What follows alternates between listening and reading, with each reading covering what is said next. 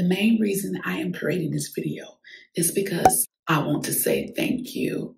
I could not have made it to 1,000 subscribers without you. Another reason why I created this video too is because I want to share some of the things that I have learned while on my journey of trying to make it to 1,000 subscribers. So if you are a YouTuber or if you have a goal that you're trying to accomplish, I'm going to share some valuable tips in this video. So make sure you stick around. It's very important to believe in yourself. And the reason why is because it's going to be hard for you to do what God has called you to do if you don't believe in yourself. When I first started my YouTube channel, that was one of my main struggles. I didn't believe in myself, even though I had the experience of the things that I would discuss in my videos. I still didn't believe in myself. It took me, I would say, over a year for me to start believing in myself. The reason why it's so important as a content creator to believe in whatever it is that you are talking about is because if you don't believe it, other people are not going to feel it and also believe it. Whatever it is that you're saying, it's not going to be as impactful. So you have to believe in yourself. Whenever you are giving advice to someone, it's always good to have a personal story something that you have experienced to go along with whatever step that you are trying to tell the listener to do in order to have a positive outcome. Once I start believing in myself, I be- began to get comfortable and it built my confidence. And it was easier for me to share my personal stories along with my tips that I was given.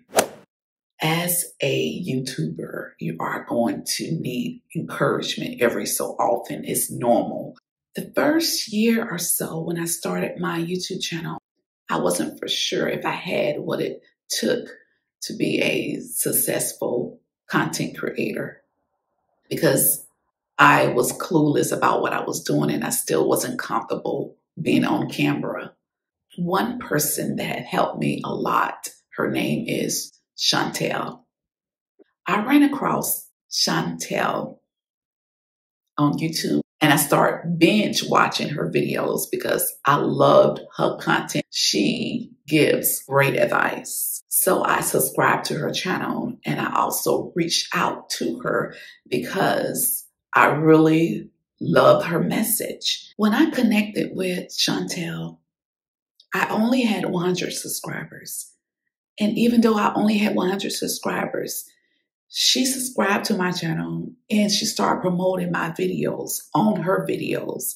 What stood out to me about that is because most of the time people only promote you if it's something in it for them. I didn't have anything to offer her, but she believed in me. And that encouraged me to continue creating content. And Chantel, I just want to say thank you build your skills. Once I start building my skills, that is when I begin to grow as a YouTuber. I've learned about building my skills from True Fam Media. One of the main things that I learned from them is that if you become more skillful at creating content, everything else will fall in line. When I started my YouTube channel, I didn't know anything about tech. I didn't know anything about how to edit videos. And one of the main things that I learned from True Fam Media when I joined their feedback group is that I had a lot of tech issues. What's good about having a feedback group is that a lot of things that you thinking that someone else don't notice in your videos, they, they do. And it helps you to where some things that you ignore, you do want to pay attention to. So the, one of the main things that I learned when I joined the feedback group is that my downfall was tech issues. I had a lot of issues with my audio, with my lighting, just things that have to do with tech.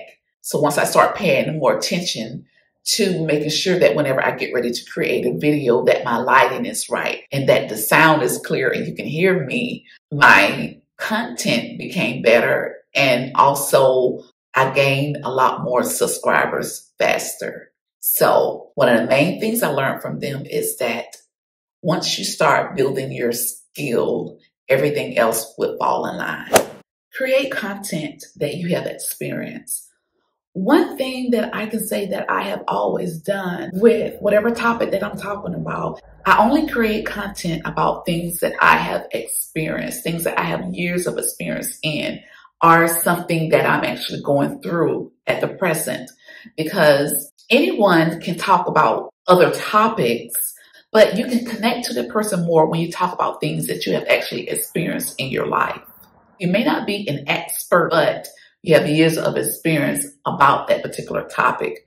For example, my main struggles in my life has been self-doubt, insecurities, low self-esteem, and not loving myself. And so I just recently start creating videos about that topic. And once I start creating videos about that topic, I felt so much more fulfilled because it's going to be more impactful for your audience and also for yourself. Use your story as a testimony to help somebody else. It's very important as a Christian content creator to stay connected with God. And the reason why you want to stay connected with God because, because you don't want to get so caught up in just trying to promote yourself or talking about things that is not in his will for you to create content about. So you want to stay connected with God because the purpose of creating content as a Christian content creator is for God. You're promoting God, not yourself. So stay connected with God. It's okay to take a break. I have been doing this for three years now.